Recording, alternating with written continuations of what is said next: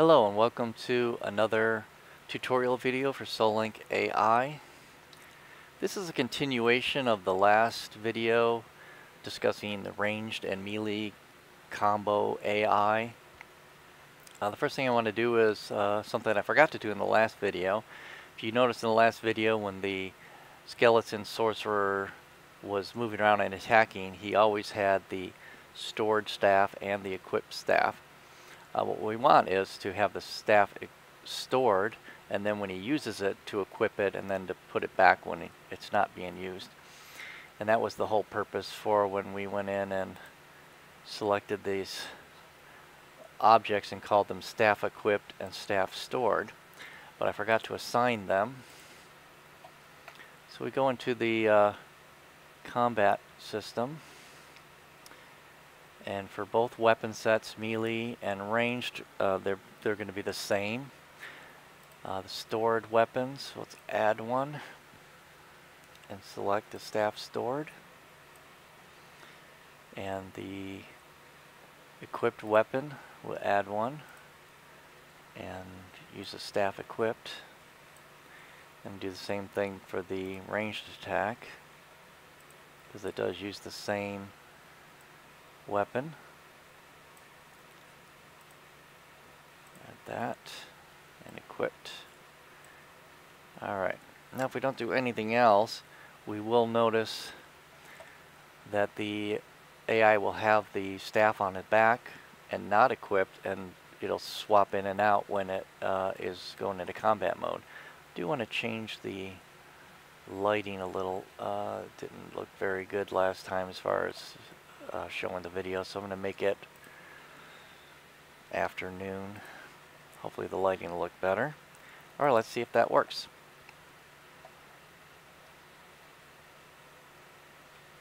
Okay. He equipped it right off the bat, but you can see that it's not on his back anymore, and it's just in his hand. So that, that did work, so that's good. Alright. Okay, now what we want to do is add requires aiming to the fireball spell ability. We're going to go into the character.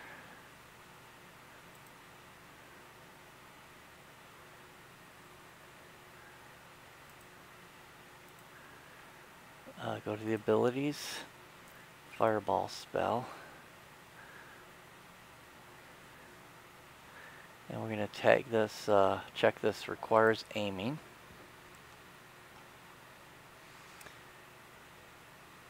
Now, we need to do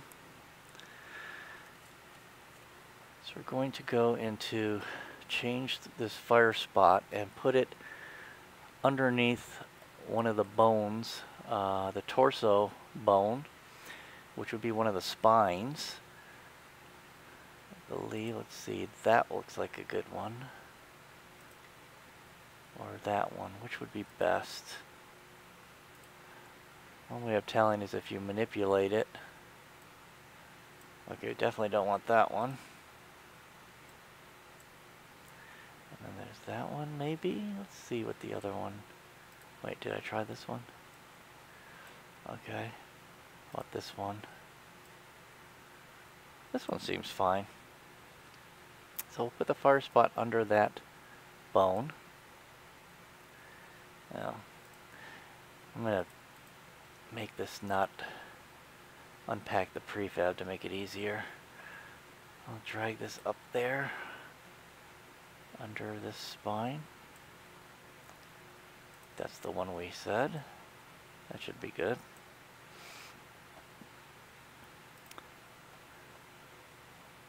And I think we'll just move it up a little.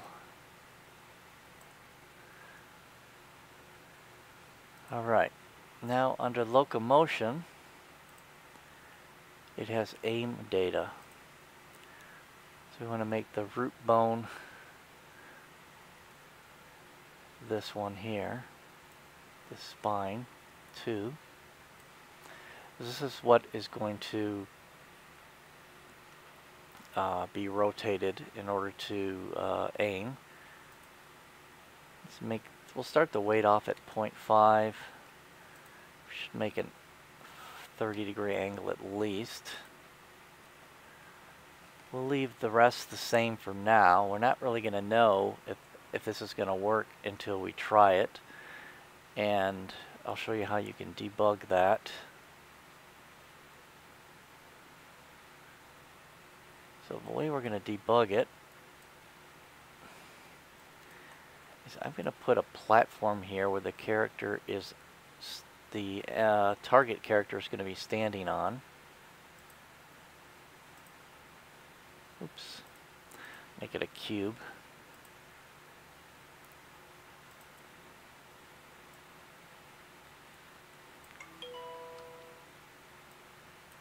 Make it pretty wide.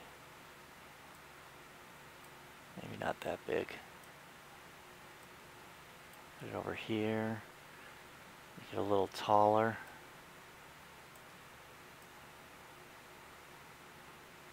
Okay. Go ahead and put Ellen up on top of that. I'm going to make it static. I'm going to rebake navigation. Okay. Now the idea is that if the aiming's working correctly, the skeleton will aim, will be able to look up towards Ellen and shoot at an angle up this way.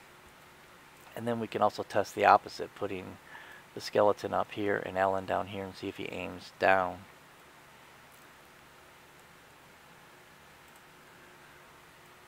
Now the other thing we have to do is we do have to put events in the animation. So let's find that sorcerer skeleton again. And we look at the fireball spell.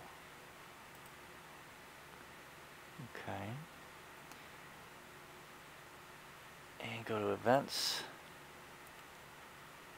and we should start aiming right when he's about to shoot. Let's do it right there. So we're going to do event, start aiming.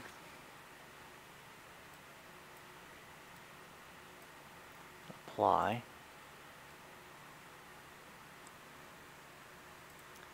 Alright, and then we also want to do a stop aiming. we can just do it right here after he's done shooting.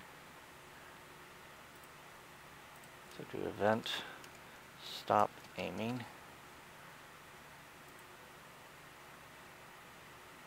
Alright. Well, let's just see how that works so far.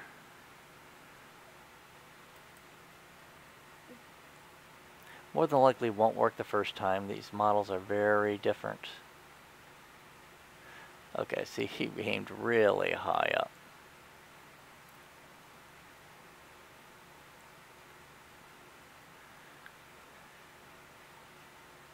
Okay, so what we can do is we can pause this.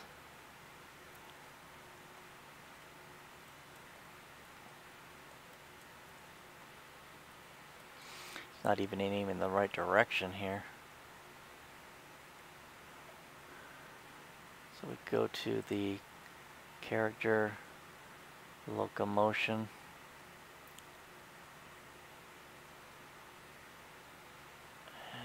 before I do this, I want, no, that's fine. I'm going to make this a separate window here.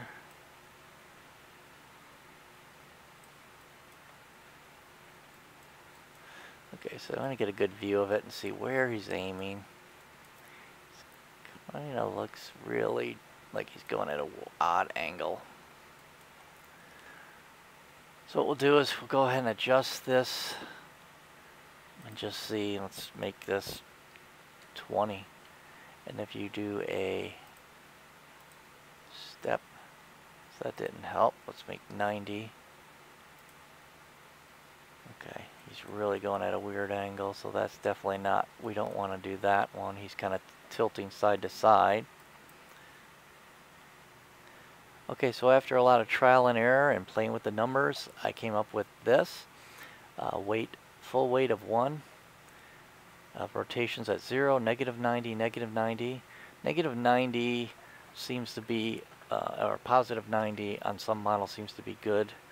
So you can always try negative 90 in different places here to see what kind of effect it has. Uh, and with those numbers, go ahead and run it.